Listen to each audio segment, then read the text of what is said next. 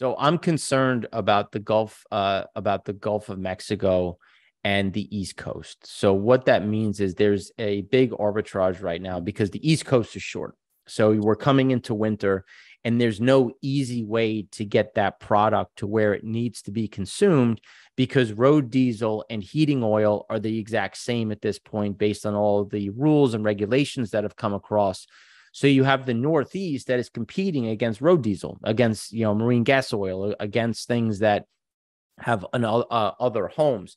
And because we don't have the refining capacity after the Philadelphia refiner uh, exploded in June of 2019, and now we don't have Russian product coming in, well, there's nothing to backstop us.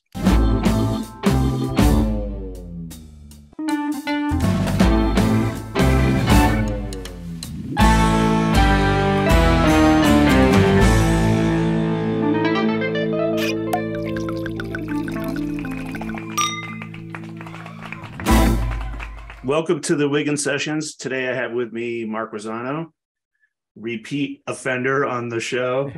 it's always a pleasure. Always a pleasure. CEO of C6 Capital Holdings. Uh, today we're going to be talking about we're going to be talking about the news of oil prices uh, and and how they're affecting the, the rest of the market. But we were just having a conversation about FTX affecting or the bankruptcy at FTX uh, affecting crypto. So we'll get into that a little bit. But Mark, let me uh, let me get started by just reading some of these headlines that we collected. Oil prices plunge. OPEC is opening up the the production lines again. Crude prices hit a 10, 10 month low because there's now more um, there's more product on the market. Saudi Arabia and other OPEC members reportedly discussing uh, production increases again in January. And uh, OPEC is reportedly considering an increase of up to half a million barrels. So that's that's that's like an opening salvo of headlines that lead us into the discussion about the energy crisis um, that we're expecting in as things get colder. sure. Yeah, the uh the fun and for those that can remember as far back as 2014 and 2015, you, these are the tape bombs that we all know and love where uh, Saudi or someone will test the market with some leak, some sort of, well, let's see how the market reacts to this. Let's see how the market reacts to that. And when then they they look at it, and and if you want to go a bit nefarious, you can say that somebody had to clean up an order and they wanted to push down the market a little bit before they could fill it. When you look at the underlying market in general let's let's look at the two sides to it. So first they announced a 2 million barrel a day cut. But we know that just based on the math behind it it was really something closer to 250 to 270,000 barrels because West Africa was already well below their allotments Russia was already well below uh, other parts of the Middle East were already below or right at where they where the new number was going to be. And then obviously you have Libya and Venezuela and Iran, which are excluded from the agreement. So when you look at it, it's like, okay, well, Iraq already told you they're not cutting. The UAE already told you they're not cutting. So that really kind of falls to Saudi Arabia and Kuwait to take the lion's share of that cut and the cut ends up being about 250,000 barrels. Now, you take that to the next side and you look at it, it's like okay now they they talk about increasing a, a production by 500,000 barrels. Well, there's four there's there's over 40 million barrels that are still trying to find a home because there's floating storage that's excessive in the Middle East, there's a floating storage that's excessive in West Africa and you're struggling to to clear crude because your biggest buyers right now have essentially gotten everything that they need through year end. So they're just trying to play with the market right now. And then this the, to complicate this one step further, there's a crude grade problem. So not every type of oil creates the same refined product. Now, and this can lead to some other conversations that, that we could have around distillate and diesel and heating oil. But right now, there is not enough distillate heavy crude, the, the oil that you make all of uh, your diesel, your heating oil with. There's the, the lighter sweet stuff, which comes out of the US. Shale is good for gasoline and the light end. So they could also announce this increase, which would open up the ability to, to produce more distillate heavy volumes, which they could then sell at a premium. Because when you look at the market, there's a big bifurcation with lighter crude, gasoline heavy crude trading at a steep discount, and the distillate heavy crude, which is trading at a steep premium. So they could look at this and say, well, why am I not going to go get that premium if it's available to me? And that could also be one of those reasons. But they like to test the market first to see how it reacts. And we saw how it reacted. So uh, this, when when they announced the cut in the first place, I was curious about the politics of it. And the mainstream press doesn't do a, a good job of of understanding that. So what like as a trader, especially in the energy sector, what was the motive behind cutting production? Like I, I, that was like um, what six weeks ago maybe? Yeah. Uh, so the it was just a matter of of let's call it a shot across the bow of oh well we can always cut production because it's a, it was a big splashy number. It was 2 million. But for anybody that looked at the data you're looking at it you're like well even if you cut Nigeria Angola Gabon uh, you're they're they're so far below that you'd have to cut another two million to even start to move towards their allotment. You look at the Congo, something similar. So when you look at these numbers, it was essentially a mark to market of where their production actually is. Now there's some there's two sides to that coin as well because there are some will say well nigeria can't increase their crude production there's a production problem but then the other side of it is well they have the most floating storage they've ever had. They are struggling, or I should say, seasonally adjusted, the most floating storage in the market. And they're struggling to sell their volumes on a month on a monthly basis with more and more that keeps getting pushed to the other side uh, to the next month. So you're like, well, if I can't sell what's in the market right now, why am I increasing production? And then you could say, well, it's because of Russia, it's because of all these shifts. But there's also that little piece of the macroeconomic universe of slowing in infra- uh, slowing infrastructure spending, slowing manufacturing, slowing things along those lines that continue to create a problem around underlying oil uh, oil demand. So again, those are some key pieces that you have to look at when we're talking about some of these numbers. But it was splashy, it sounded good, but realistically, it didn't move the market. Okay, and then um, you're saying that uh, something that's just on people's mind is uh, gas prices that they put in their car. Mm-hmm. Like that's an issue, even going into the heating season. Um, do these increases in output change gas prices at all? So the increase, the gasoline price is an interesting one because there's two dynamics within that. There's you have slowing demand. So if we look at Target, which is which gave um, weaker guidance, you look at Amazon laying off individuals, FedEx something similar.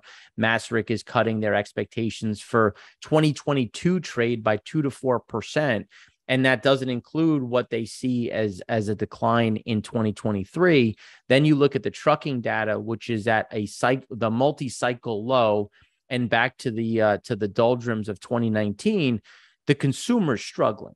So when you take all of that together you start to see this the consumer getting stretched. So you're starting to see that demand soften but you're not seeing a huge build in gasoline in specific regions. But we're not importing the same amount we normally import from Europe because diesel is so expensive and shipping is so expensive. So if I'm a refiner, well, why am I going to import gasoline when I can take this boat and I can export diesel into a very healthy market? So all of a sudden you have this gasoline conundrum where Europe has the most gasoline ever in its in seasonally adjusted, obviously, in its history. It's above 2020 in terms of where they are right now. The same could be said for Singapore, a bellwether for Asia, while the East Coast is fairly is about 19 million below normal. So you're like, well, why is nobody closing that gap? And it's because there's it's so expensive to ship right now. The arbitrage of moving gasoline is closed, which is keeping prices higher than it really should be right now. But you, as you see the seasonality kick in, you when you make diesel, you inherently make gasoline. That will start to uh, to fill the coffers a bit more, and that will help bring prices down a bit. But you're still not going to see a huge drop because refiners need a margin and without uh, gasoline prices elevated, they're going to have economic run cuts, which we think is a big risk going into next year when you look at Asia.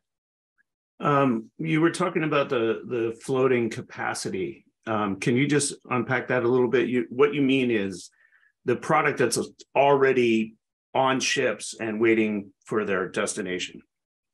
Yes. Yeah, so when you look at the is that shipping, a supply chain issue? so there's there's different pieces to the supply chain so first you look at the product tankers so the product tankers right now because you have russia who's exporting product into the market and the middle east has been taking in that product and this is where it gets fun because so russia essentially imports to let's just pick on kuwait for a moment or uae because i think uae is the most recent so let's pick on, on abu dhabi so russia will send diesel to abu dhabi they will then import that into their tank. Then now you have UAE, you know, Abu Dhabi created uh, diesel from one of their uh, refiners, and then Russian product. It's commingled, and then they export it. Now, I, can't pick out which molecule of diesel is is Russian and which is is from Abu Dhabi. And this is a way that they can almost cleanse the diesel now UAE wins because they're going to buy cheap diesel. They're going to they're to pump it into their storage and then kick it out into the uh, the global market. But the problem is all of this is increasing miles per ton, which mm. just means that a boat is used longer than it normally is. So when you look at something that is normally maybe a 10, 15 day voyage because you're going from one port to another in Europe, or you're on a pipeline. Now you're on a boat that is going into multiple seas, going through multiple ports. So your miles per ton keeps growing. So these boats are just locked up for longer, which is causing this increase. Then you look at at uh, at crude, same things happening, where now you have more crude that used to go from Russia into Poland, Hungary, Germany going all the way around to go to India, to go to southern China. And you're seeing these miles per ton increase, which is absorbing a lot of this capacity, driving up prices and just creating a, a, a very big supply chain issue not because there isn't enough boats it's just it's just the movement of that supply chain has gotten stretched and so if i'm hearing you correctly that's a just entirely politically motivated price hike yes. Yeah, just exactly. You're you're seeing it. And then and then you want to take another price hike on the US side. You know, we won't allow uh, a foreign vessel to take uh, to take product or crude or LNG from one U.S. port to another U.S. port. You have to be a sanctioned Jones Act Jones vessel. Act. Right. right. Yeah. So you need a Jones Act, which is your your uh, your American flagged, American made, American manned to go from Houston to New York Harbor. And that's creating this massive price spike, which is why when you look at the diesel front, you're looking at this, you're like, you know, everyone in New England is is worried about if, if they're going to get heating oil. And the Texans are looking around saying, guys, we we have we have more than enough. H- how do we get it to you? Tell us how we get it to you, and we will happily make that trade and it's just because there's no cheap way to do it and, and it, that's why you have the uh, houston you know texas and and the gulf of mexico exporting into europe taking away some of that european demand and then we're absorbing from the atlantic basin what normally goes to europe to attract that and try to keep that price ca- uh, you know try to cap prices to whatever is possible and make more available are you concerned about a shortage in diesel? We've been writing about that a little bit because uh, there's a lot of people that are, but then there are other people that aren't. And the concern, just to to characterize it, is uh, trucking and trains. Mm-hmm. And so, are you concerned about that? So I'm concerned about the Gulf, uh, about the Gulf of Mexico and the East Coast. So what that means is there's a big arbitrage right now because the East Coast is short. So we're coming into winter and there's no easy way to get that product to where it needs to be consumed because road diesel and heating oil are the exact same at this point based on all the rules and regulations that have come across. So you have the Northeast that is competing against road diesel, against you know marine gas oil, against things that have an, uh, other homes. And because we don't have the refining capacity after the Philadelphia refiner uh, exploded in June of 2019, and now we don't have Russian product coming in, well, there's nothing to backstop us. So now you have this big shortfall that exists in in in PADD 1, which is the East Coast, but more specifically PADD 1A and PADD 1B which is that New England down to the mid Atlantic, uh, to you know, uh, just above the mid Atlantic. You want to consider the tri-state area. That is where there's a, we have a huge concern of availability and what that price is going to be just because there's no easy way to get it there. We have Colonial Pipeline, which is fully tapped out. Mm-hmm. And now you have, well, you can rail it if you can say, well, I, I can just, you know, to put it on a, a rail car and send it north. It's like, well, that's really expensive. So what's the cost of that? Is it cheaper for me to send or more, uh, more profitable for me to send my product into let's just let's just pick on France for a moment send it to France and now France is no longer a buyer. So the UAE cargoes that were coming into the Atlantic basin land in New York instead of landing in France. And those are some some different ways uh, or Rotterdam or you know pick your pick your location and that would be a way to you know back uh, on a back of an envelope trying to get stuff through but you're increasing cost. So even if you have all this volume there's no way to reduce cost because transportation is still so expensive of getting that product into uh, the east coast. But is that is that going to be an issue just for heating? I, we talk a lot about um, heating oil in uh, in the northeast. Is that going to be an issue? I mean it's going to be a cost increase mm-hmm. but is uh, is the supply going to be there? No, uh, not in the quantities. I mean, it, it's gonna. We have to. We have to hope Mother Nature is kind. But yeah. if we but have, that's what they're saying about Germany too, right? Yeah. Like yeah. they're saying, yes, Germany better hope for a warm winter. well, and, and, that's the problem. Like you, you're leaving yourself open to an unknown of is Mother Nature going to give us a polar vortex, or, or are we going to be wearing shorts in December? And that's you know, do you really want to be you know, do you really want to play chicken with Mother Nature? We've seen how she wins time and time again. Yeah. So when you look at it, yeah, the availability is going to be a huge problem. And to your point, if there is a polar vortex and all of a sudden they have to rush out and buy product, is there any going to be available? And the answer is no, at least not quickly. I mean, even back in 2017, 2018, I mean, we had family up in uh, in in Rhode Island and, and Massachusetts that couldn't get heating oil for up to two weeks.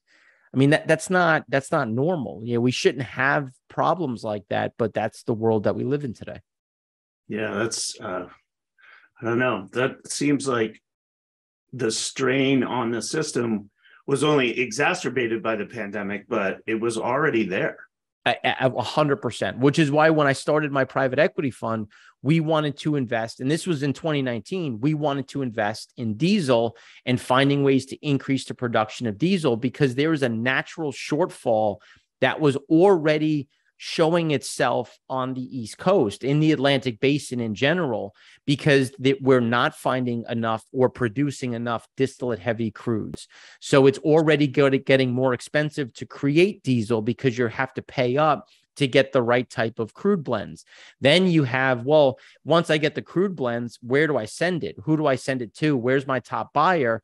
And if the East Coast isn't willing to pay top dollar, uh, someone else will. So now you have these competitions, and we can't supply ourselves in the Northeast. You know, can we supply more than enough in the in in uh, in the Gulf of Mexico? Sure, but then you have to get it from the Gulf of Mexico to the actual destinations, and there's no easy way to do that because of uh, infrastructure limitations within the U.S. and then political limitations with the Jones Act.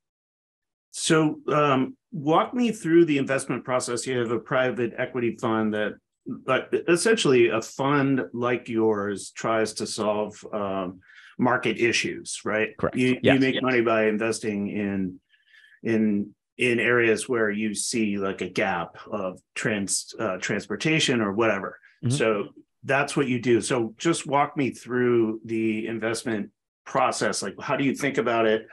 and what are you looking at? Sure. So when we started this back in 2019, we we looked at the market and we saw a lot of opportunity in the private sector, not so much the public sector. And we we saw a, a global shortfall of energy infrastructure. Now that's obviously a massive term. What does that mean? What so we wanted to bucket it into three locations. One is hydroelectric. So we saw a shortage of baseload power and we wanted to find a way that we could we could capitalize on the green movement while providing baseload that is going to be there 24/7 then we turned and we said there is a global food shortage. Fertilizer is massively energy intensive. We wanted to find a solution to increase fertilizer uh, fertilizer production while trying to stay and find waste products to do so. And then on the diesel front you know, in, in, terms of refining, good luck trying to get a, a crude refiner built. But there, are there we found this one company that uh, creates renewable diesel using wood waste as well as ag waste. Now, the beauty of renewable diesel is one, you're not taking food to make fuel, and it's molecularly the same as petrol diesel or crude diesel. So we wanted to find a way to address these problems with the view of GHG and, and ESG in mind. But one thing I learned long ago, taking enough ethanol facilities into and out of bankruptcy, is that government subsidies should pad the returns, not drive the returns, because a stroke of a pen can instantly change your profitability. And we wanted to find companies and assets that stand on their own two feet. And we wanted to show look, you can have a, a environmental mindset while still making money and delivering value without saying, oh, well, I don't know if you saw Japan just told everyone that they have to buy turtlenecks because if you wear turtlenecks, you will keep yourself warm and you'll reduce your consumption of energy. That's ridiculous. That is not a solution to anything. But there's a way to to, to build more LNG capacity to well, to make maybe, more LNG available maybe if you're farming uh, sheep in New Zealand, it is true. Yeah, maybe we should get into the to, to the wool trade. But you're you're you're watching the absurdity of this. It's like so you're you're forcing discounts and sales of turtlenecks to keep people warm where we can actually look at this and look at the shortages. Can can we increase LNG availability? Can we can we develop and capture flared gas to take that flare gas that was a pollutant and is now powering your home and your heat? Like there are ways to look at this with a environmental mindset while still de- delivering value and capturing something that is going to have longevity behind it so let's talk about inflation a little bit too, because um, that is definitely impacting, obviously, the mm-hmm. the energy markets. But most of the trends that you've been describing up to right now in this conversation are they predate any concern of inflation and they predate any lockdowns in the economy. So, what impact did um, low to negative in, uh, interest rates have on like the way that the in, uh, it, uh, energy markets developed over the past say 15 years? Sure.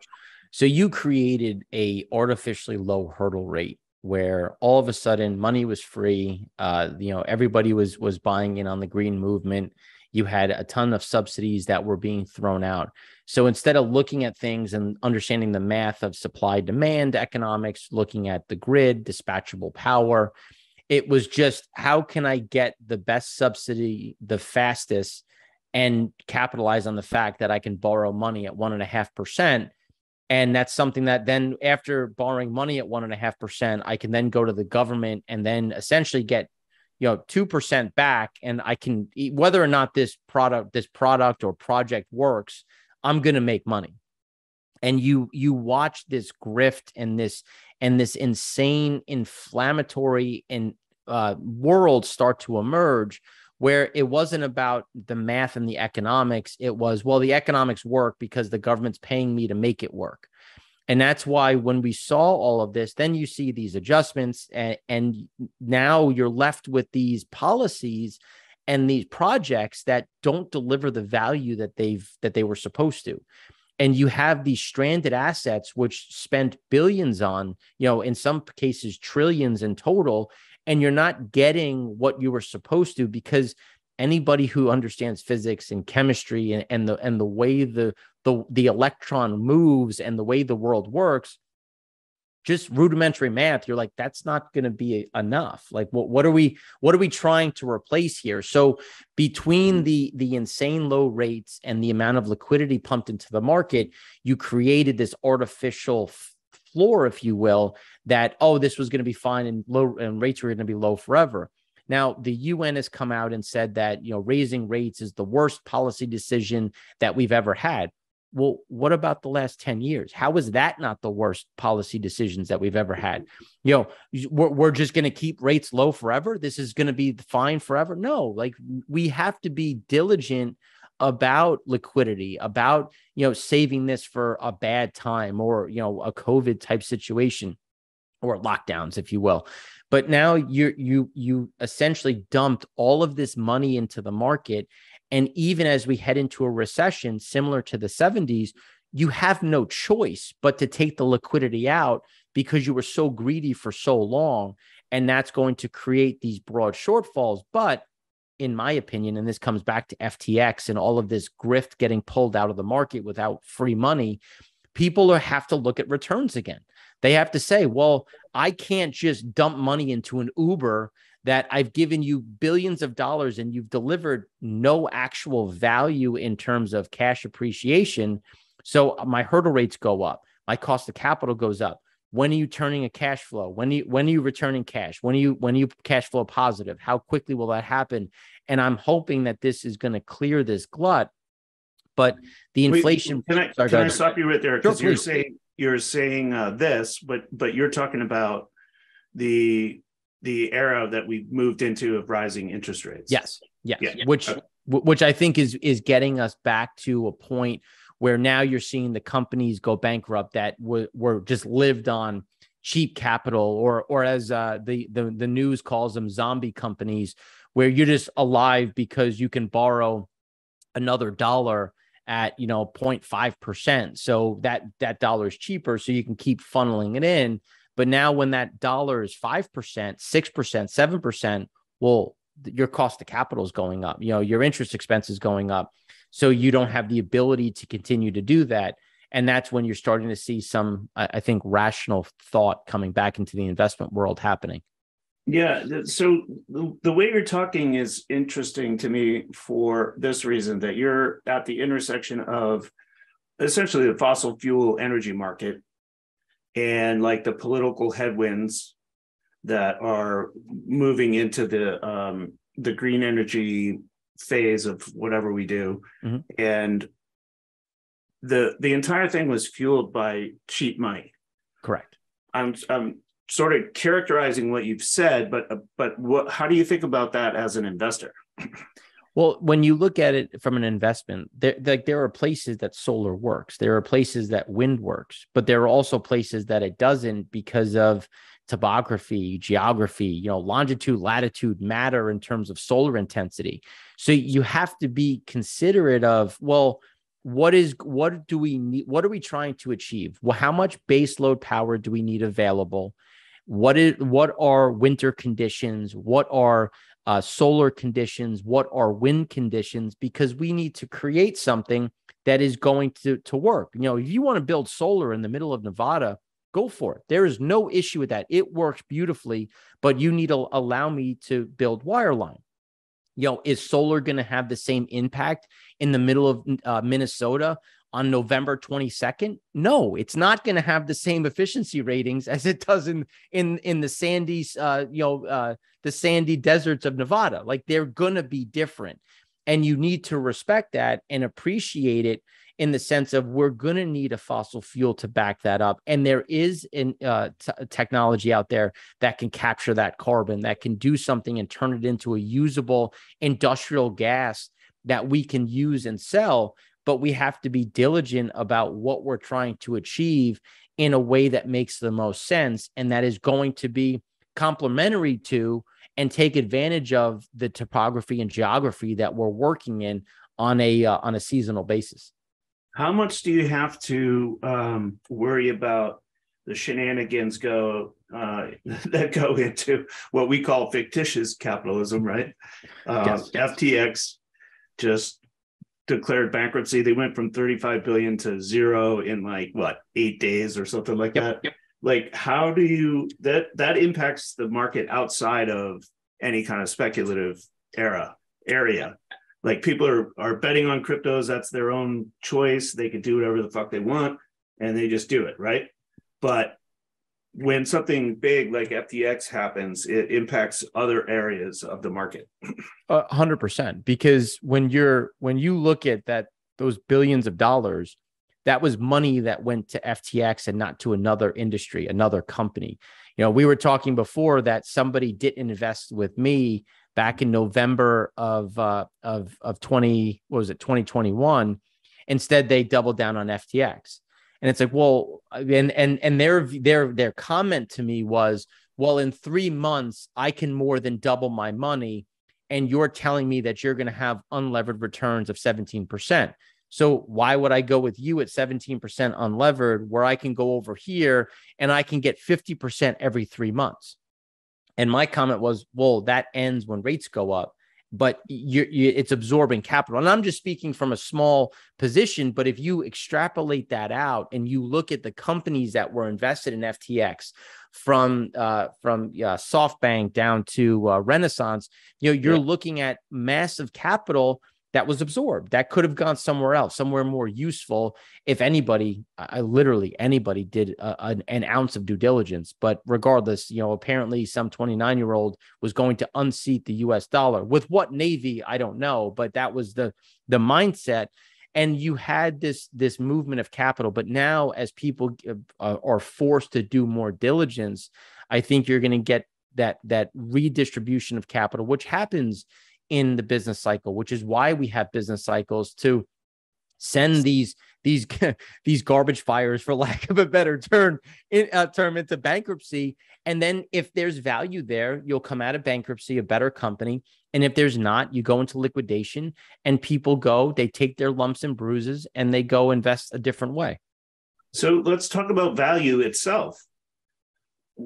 What what is it that people saw in FTX first, and then what is it that you look for when you're when you're investing in it in terms of intrinsic value is probably the best way to say it, right?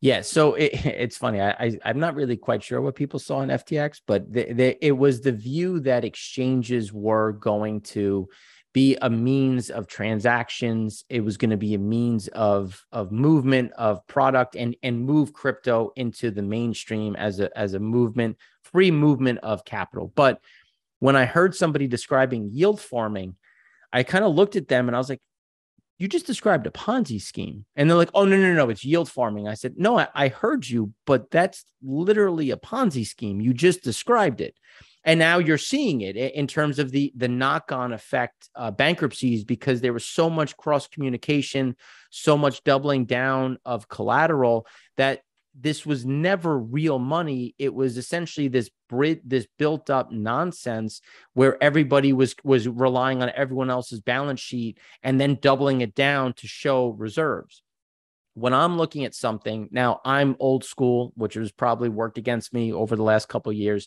I want physical assets. And the reason why I say that is because when I look at the world right now, we're going from an inflationary into a stagflationary basis and then likely a deflationary cycle. So I want to own things that are going to be cash yielding and have what I like to call recession resistant. Eh, eh, nothing's recession proof. I we we've all learned that in every recession we've ever traded in, invested in you're going to get hurt, but you want to find things that are going to be there on the other side. And that's why we wanted to be in base load power, that there's an intrinsic value. There's a demand increase in terms of uh, electrification mandates. You have supply coming down because we're shuttering natural gas, coal facilities. Then you look at food, we have mismanaged our soils for 60 plus years you know there is a food crisis right now that is only getting worse that has been terrible before this And now the UN just announced we're over 8 billion people. So we're still reproducing like cockroaches, but yet we don't have the food to support us. So where are we going to bridge that gap and how are we going to bridge it? And, and we have to be smart about it. And, and that's when we're looking at things of this is a physical entity. I can see it, touch it. There's a supply demand model. I, I'm going to have a cash flowing basis because cash is going to be key. The asset will protect us on an inflationary basis, a stagflationary basis. But as deflation starts to kick in, we think towards the middle to back end of this decade, that cash is going to carry more value and provide a certain amount of uh, staying power through multiple different cycles. What do you think the impact of um, moving money, like exchanging paper, which is exactly what was happening with uh, FTX, hmm. on uh, manufacturing output? So there, there has been both because of the green movement and because of fictitious capitalism, there there has been a a, a slower investment in um, manufacturing capacity and in transportation and that like the very things that we need to make the economy work. Right. What do you think the impact of that has been? It's because it's it's it's a question that has plagued me for like 20 years. Like why do we keep trading paper when we should be buying goods? Well it's funny because you had the gig economy you know pro- cropping up where everybody was just gonna eh, so there, there was it was multi-staged where in if you look at the 60s and 70s when this all really began we exported inflation imported deflation and created the taking advantage of cheap labor closer to the asset of the raw materials intermediate goods. But that cycle runs out. So then you got, went from that and then computers got better then you had supply chains improving, and then you had at time deliveries. You know, I, am sure everybody who got so tired of hearing the term asset light inventories or at time deliveries during the 2010s, where every company was was was talking about how they were going to have no inventory, minimal cost, and at time deliveries was going to be a thing of the future. And you're watching this, and it's like, well, you have to rely on a boat to get you from China to uh, from you know let's call it Africa, uh, South Korea, and Japan in terms of raw materials, intermediate goods. They then all have to converge on China. You then have to put it all together in China. Then you send it over to California. Then from California, you have to move it through the economy, uh, through through the the U.S. to get to the stores. It's like that doesn't sound very efficient in terms of the structure of using diesel, boats, all these other key pieces, as you said, that drive the economy. And so our view was that starting in 2016, you were going to start to see a adjustment to the global landscape because you can only I don't want to say take advantage, but let's just say take advantage of cheap labor and easy environmental le- legislation for so long before people get wealthier. They demand better working conditions, they de- demand better water and whatnot, and the costs go up. So then you start to see that recycling and they move to other cheaper places. So you saw it in clothing back in the 2010s, where you went from China to Bangladesh to Indonesia to the Philippines to India. And now we're at a point of, oh, well, supply chains are really important. We finally realized this. So nearshoring and onshoring is a new term. And a lot of these facilities are coming out of China. But now we're left with, but on whose grid? So you're going to bring back all of this manufacturing to the US. You're going to build all this ba- these this battery capacity, these semiconductor capacity. Do you understand how much juice that takes? Do you understand how much water that consumes? Where are we going to get the natural resources and the and the and what grid is going to, to support this given you're going to add a significant amount of base load just because the, a Samsung facility is going to run 24 7, a Taiwan, a Taiwan semiconductor facility is going to run 24 7. That's a lot of power in a grid that is already super fragile. So there's a lot of key pieces that need to be invested in, which where we see opportunity in terms of trying to take advantage of these investments because we need to build the underlying infrastructure. We have the labor, we know we do, but do we have the underlying capacity to support such a big endeavor. So when you're looking at specific investments, then you're you're factoring in ge- geography and like shipping and and like what what you can get to that place at the same time. That's I think that's what you're saying. Uh, absolutely. But but what about politics? Because it always bothers me that this conversation turns into politics because because we've got the green energy movement and we've got um, we've got issues with um, the war in in Russia or in Ukraine. Like, how do you how do you factor that into the investment decisions? Like, because I I see what you're trying to do is you're trying to solve problems in the marketplace, mm-hmm. and then you want to invest in the places that are going to be most productive in that sense.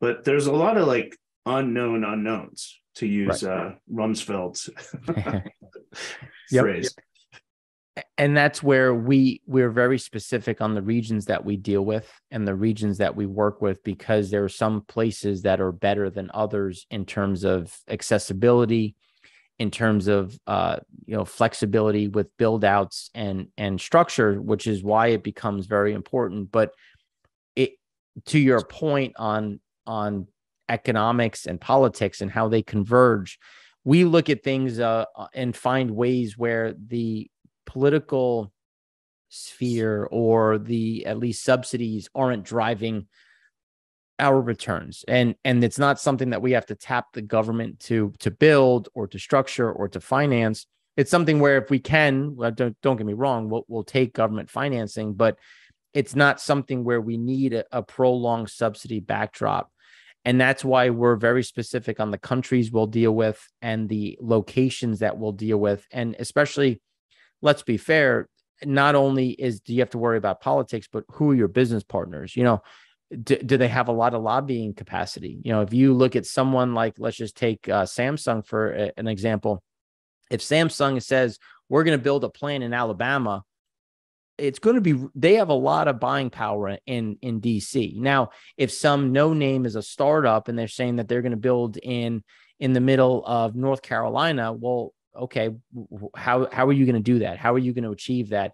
Who is who's your backer? Who's your essentially your big brother your godfather that's going to make sure that you can walk through the political cycle without being pushed back on? And and it becomes difficult and to try to find the right partner that have similar values but at the same time can walk through the process in a uh, in in a in a normal faster fashion let's talk about fracking a little bit um, so this was actually given to me by our producer, Judd. Sure. The frac spread count. Yes.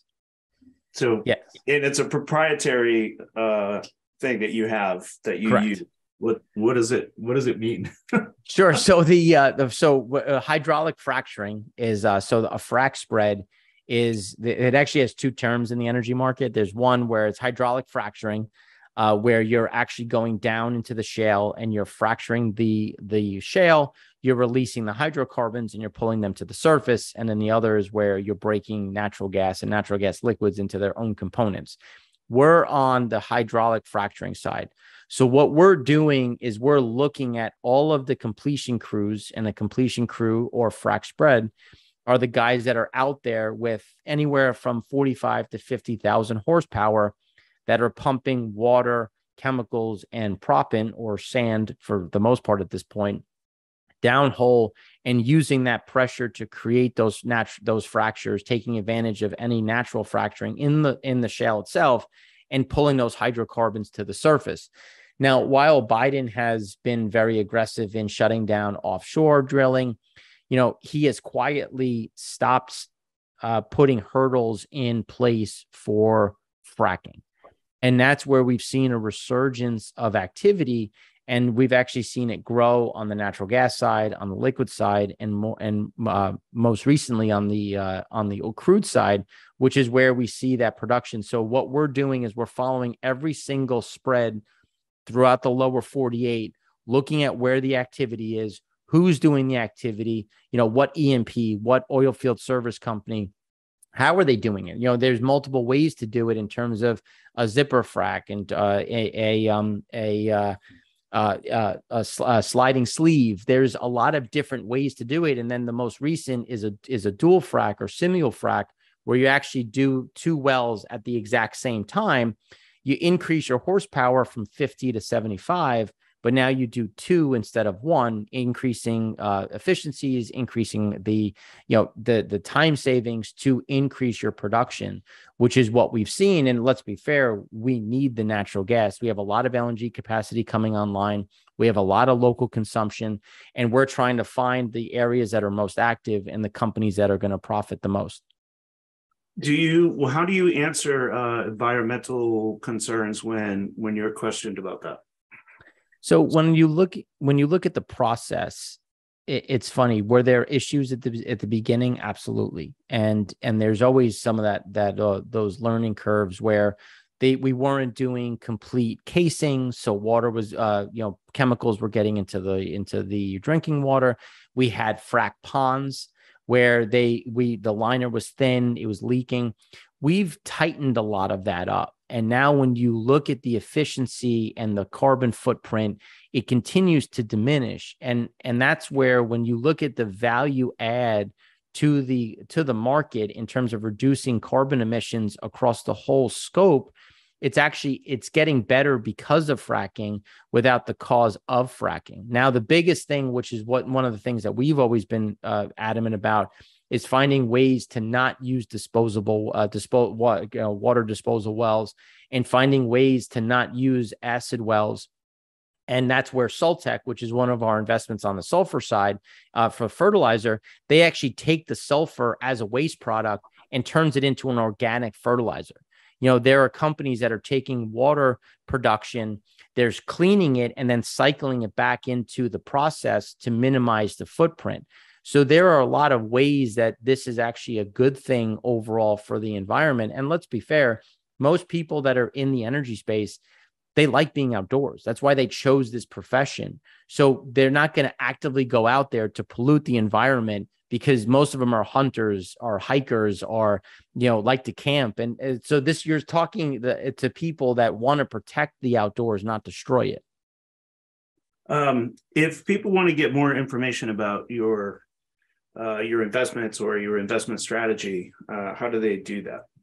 Sure. You can uh, find me on uh, Twitter. Uh, it's um, at Mark FNY. Uh, you can, my email is mrosano at c6capitalholdings.com, or you can find me on Primary Vision Network, which is our YouTube channel. And, and we have a newsletter coming out that, that has launched on the Daily Freedom Financial Press. And we're going to have more newsletters on the back end of that. Awesome. All right. Well, thank you, Mark. It's always a pleasure to talk to you because you're like a encyclopedia. well, I appreciate the time and thanks for having me on again. It's yeah. always a pleasure.